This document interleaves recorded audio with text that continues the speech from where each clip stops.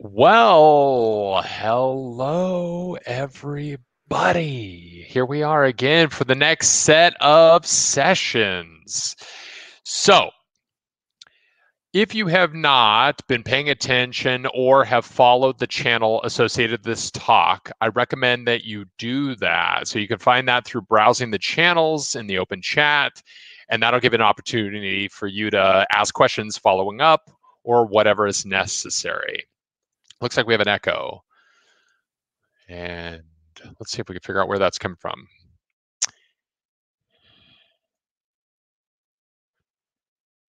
Let's try and start this again and see if that will help.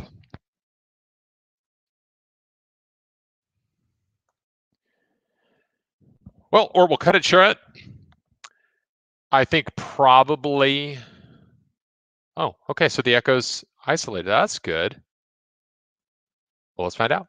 Okay, so let me introduce Kevin Murphy. He's going to go through our next live talk, which is really exciting to me. Don't forget to follow that Slack channel so that you can ask questions in the follow up, and we will go for them there. All right, without further ado, Kevin, it's all yours. There was a time not that long ago where people could safely gather in crowds and wait for that wonderful moment where the house lights would turn out, the fog machine would kick in, the stage lights would turn on, and the band would take the stage. Concerts are one of the many things that I'm missing about in 2020. But I figured, you know what? I've got a captive audience here. Let's have a show. And in fact, we're going to help stage an entire tour of concerts using Ruby's coverage module. As Adam mentioned, my name is Kevin Murphy. I'm a software developer at the Gnar company. We're a software consultancy in Boston, Massachusetts, or more accurately these days in the couches, dining room tables, and makeshift offices in the greater Boston area. Coverage you call the aptly named start method. And here we're going to explicitly ask it to start in lines mode. We'll have the band play the first 10 shows of the tour, and let's see what we get back. What we get out of coverage is a big old hash, and I've already uh, condensed the output here, but let's dig in even further in just one of the elements of this hash and explain what we get back for results. Each of the keys in this hash are names of files that are executed while coverage is running. The value of which is another hash, where the key is the name of the mode. Here we explicitly asked coverage to start in lines mode, so thankfully we got lines back. And then for a value here in our inner array, we have an, we have an array. And what that array represents is how many times each line in this file was executed while coverage was run. Order is important in this array. So this first item at index zero is how many times line one of this file was run. In fact, lines one through six were all run one time over the course of the first 10 shows. Line seven is a special case. Uh, the nil here doesn't mean that it wasn't executed. It'd be zero in that case. Uh, coverage is telling us there's something special about this line, and that's that it considers it irrelevant. So let's open up this string file and see what we're talking about. And, and line seven is an empty line. So if you were to look at the results of coverage and you saw a zero, you might take that to mean that there's a problem or at least something to investigate, right? Maybe you have some dead code you can remove, or maybe you have a bug in your code that you're not running certain lines that you should be. But really, this is just an empty line. And, and what does it mean to even run an empty line or a comment or an end statement?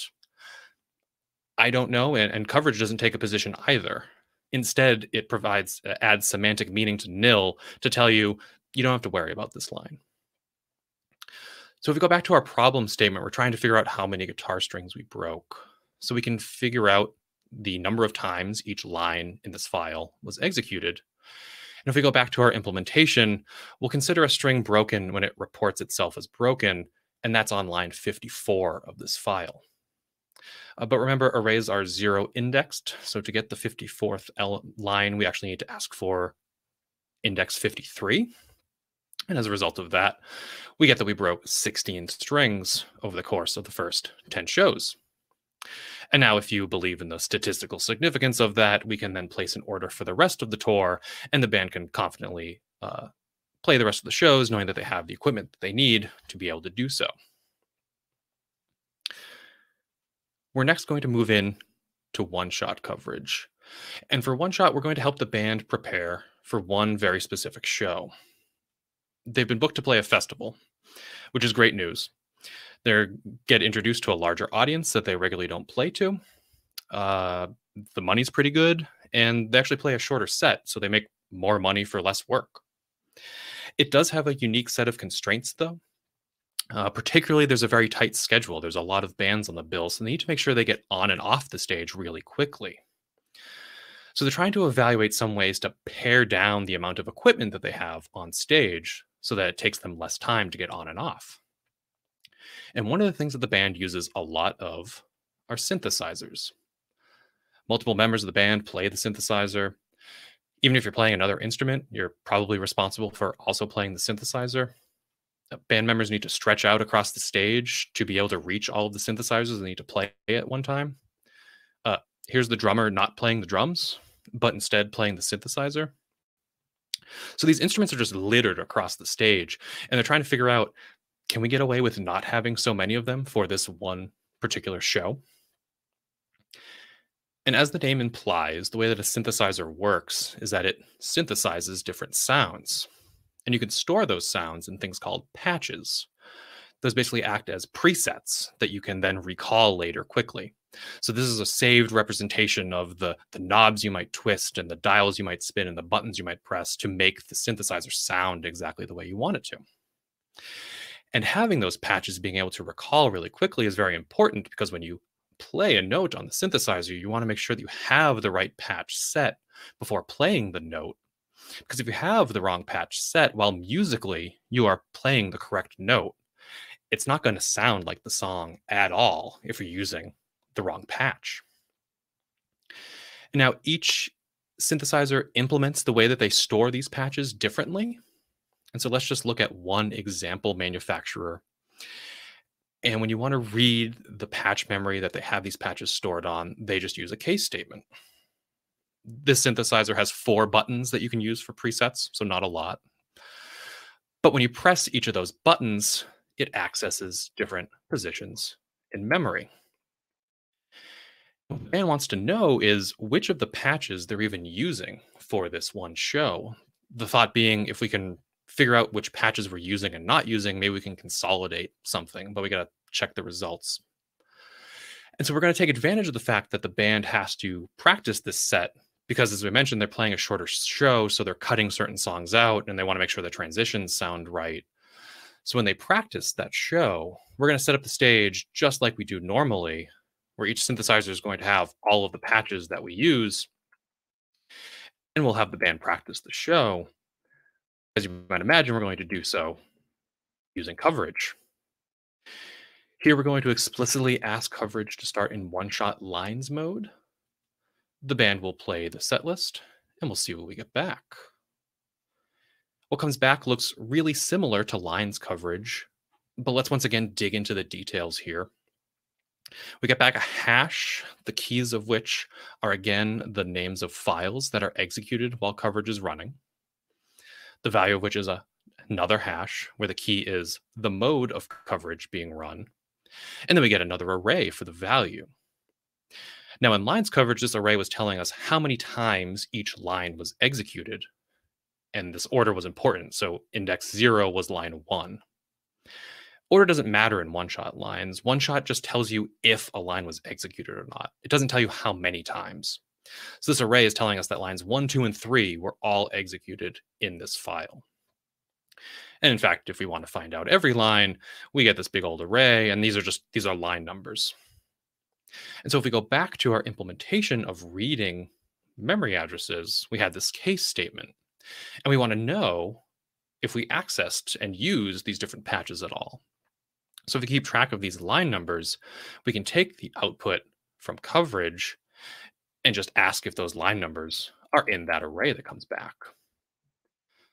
As a result, we find out that we're using three of the four patches on this synthesizer. That's either good news or bad news. It's not a great candidate for consolidation, but hey, we're using it a lot, so we probably need it. But if we perform this exercise on every synthesizer on stage, we might find one that we're only using one of these patches for.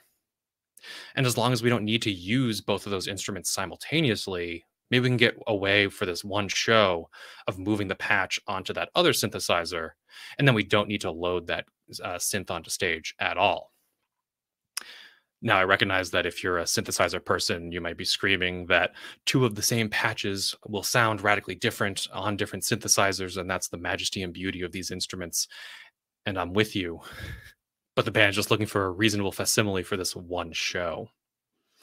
And thanks to one shot coverage being able to tell us which lines we accessed or not, we were then able to consolidate the amount of equipment we needed, get everything on stage that we didn't, none of the things that we don't, have the band play the festival set list, and have it still sound the way that we expect it to.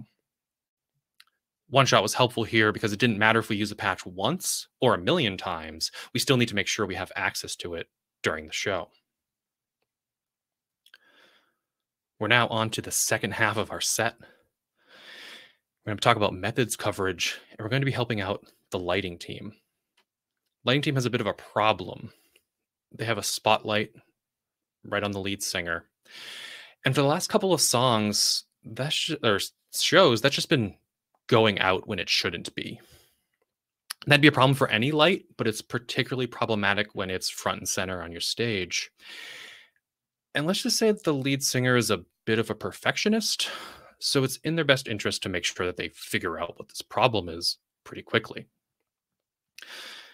Now, if you thought that the band played with a lot of synthesizers, just wait till you see their light show. Like they're well known for the lighting rigs they bring on tour with them, and they contract out with special effects firms and lighting teams to design lights that didn't even exist before just for their concerts, which is a lot to say. They have a lot of lights. So many so that they can't even keep track of which they're using, right? They might be using a light for only one or two songs.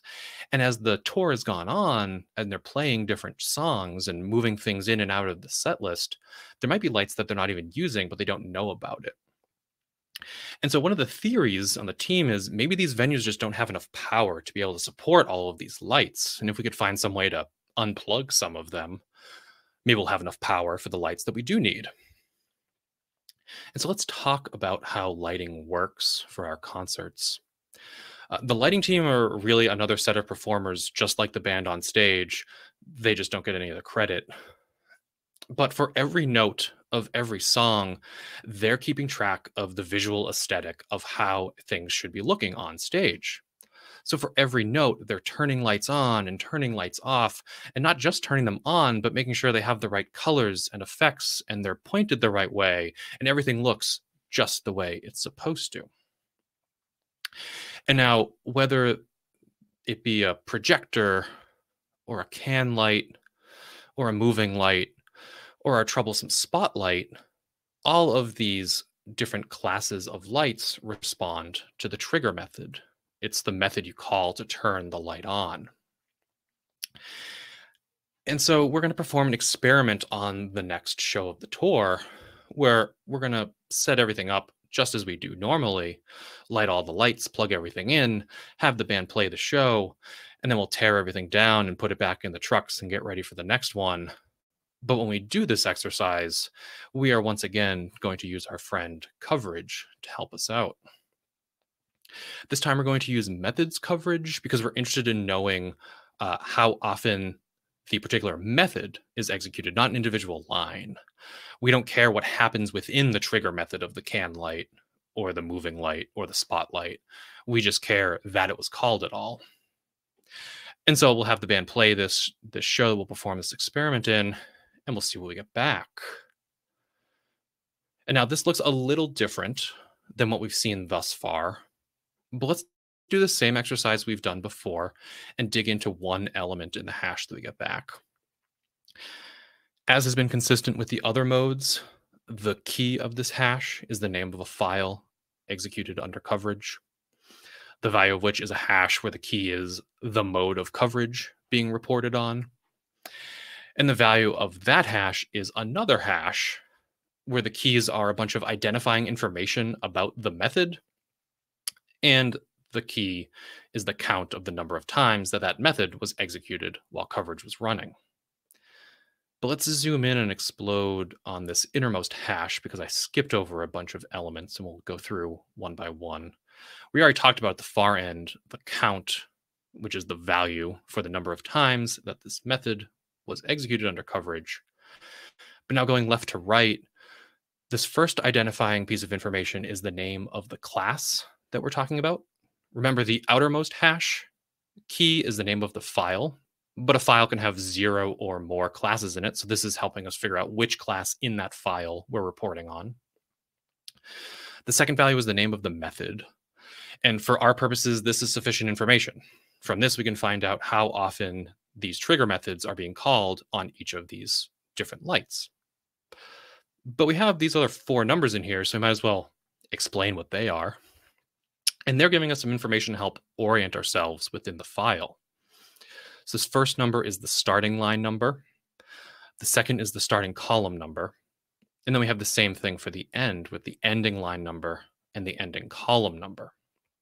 So they just help identify where in the file this method exists. And so we're trying to find out if there are any lights that we're not using. And we can see that our projector here, we set up and have ready to go, but we never even use it. So now the next time we roll into a town and light the lights, not so fast projector, we can just keep you unplugged. And instead, we'll only have power going to the lights that we are using. And when making that change, hopefully that leaves enough power for the lights that are used throughout the course of the show because we were interested in knowing whether an overall method was executed, we used methods coverage to help us with that because we didn't have to care about the details of which line numbers within the methods were called, just that the method itself was called. We're moving on to our closing number here today. And for our last song together, we're actually going to help the band get ready for the last show of the tour one of their uh, friends is going to be in town, and he's also a singer in a band. And they've invited him on stage to play a song, and they let him pick which one. Uh, and he he chose one of theirs, but it's not one that they've been playing on this tour. So in the shows leading up to our last show, the band's been using soundcheck as an opportunity to practice, so they don't make complete fools of themselves on stage. And so they know what song they're going to practice, and in the early afternoon, they amble on stage, plug in their instruments, tune up, get everything ready to go, and they play the song. And they're going through this exercise, and something just doesn't sound right, but they can't figure out quite what it is. So they're trying to identify any way to analyze what's going on here. And they really don't have anything, but they finally say, like, look, our friend coverage has helped us out a couple of times. Let's see what it can do here. And the issue is they don't even really know what problem they're trying to solve. So they don't, you know, they don't really know what to ask coverage. So they're just like, look, let's just, we'll throw the kitchen sink at it. You can pass the all symbol to coverage.start, and that tells coverage, like, just give me everything you got. Run everything. We'll have the band rehearse the song yet again. We'll see what we get back. And predictably, what we get back is a whole bunch of information. But I want you to take from the slide is not really the values in here, but hopefully some appreciation or understanding for why the data that we get back from coverage is structured this way. In all the prior examples, we've explicitly started coverage with one mode, but you can run multiple modes of coverage at the same time. And that's why within a given file, you have you can have multiple keys representing the different kinds of coverage that were run. And so, in fact, if we look for which types of coverage were run on our song here, we see that we have lines coverage, methods coverage, and branches coverage. But we're missing one, right? What happened to one-shot lines? So it turns out there's a technical limitation in how coverage is written, such that lines coverage and one-shot lines coverage can't be run simultaneously.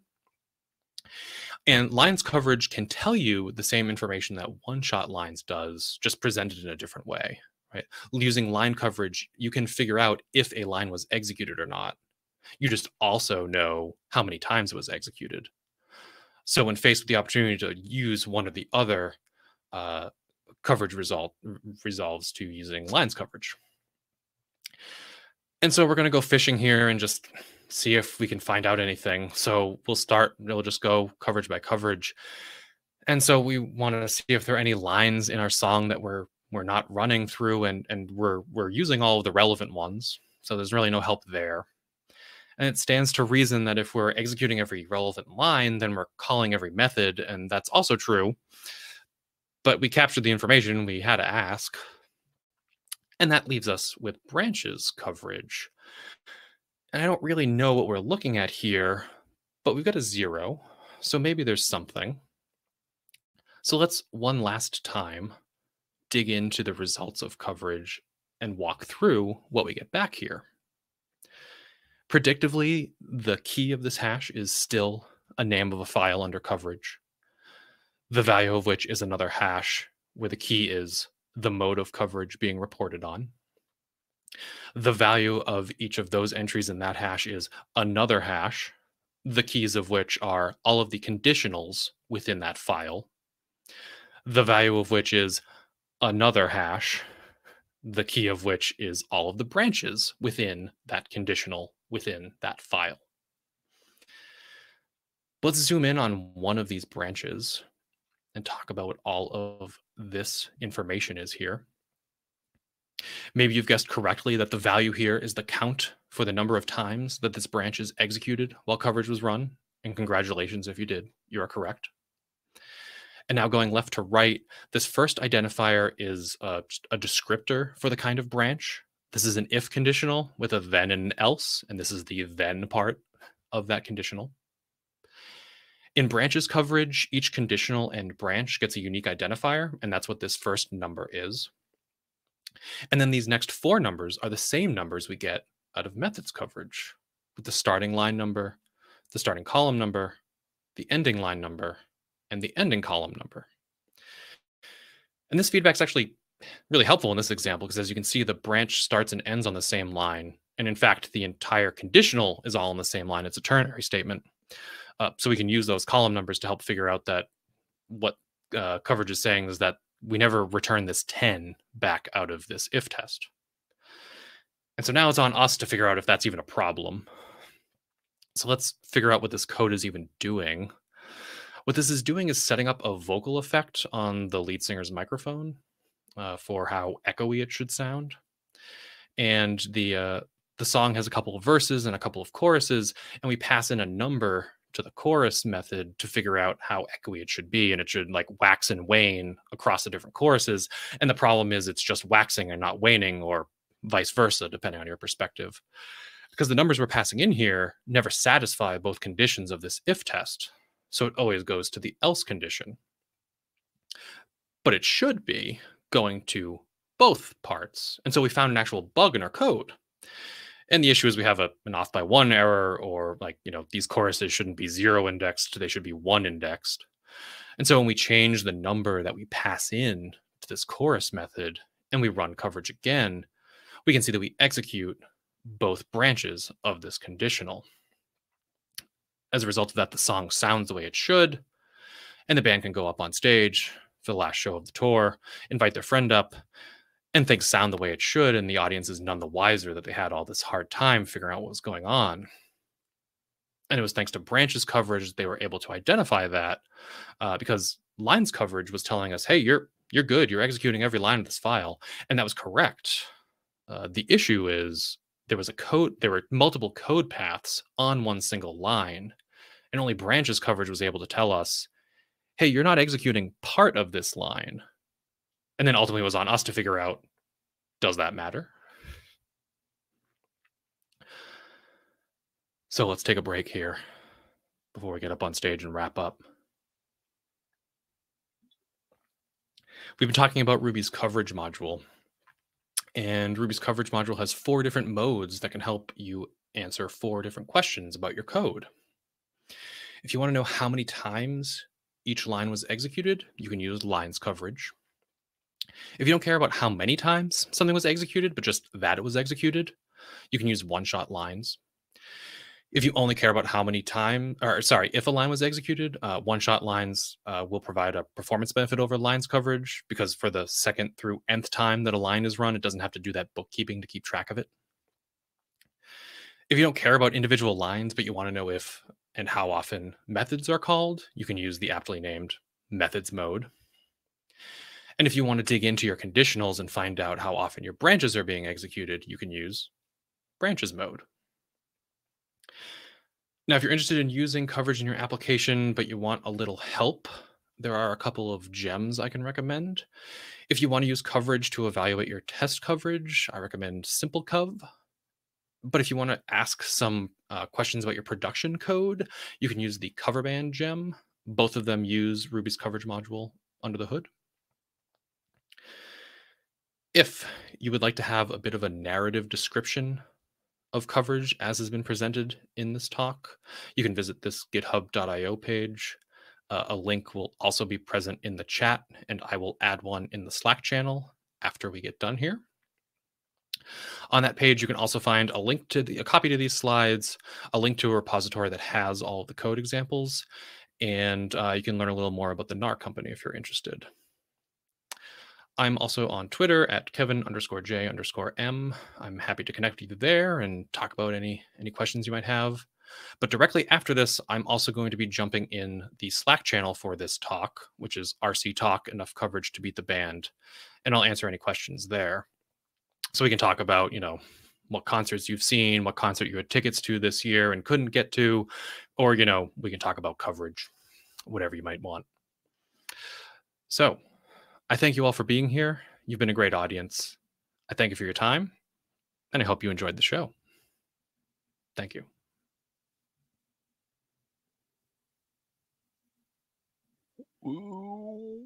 Well, thank you so much, Kevin. Much appreciated. Like Kevin said, jump on over to the Slack channel, answer some questions if you have any, give some mass kudos, join them on stage, virtually speaking, at least, you know, all the things.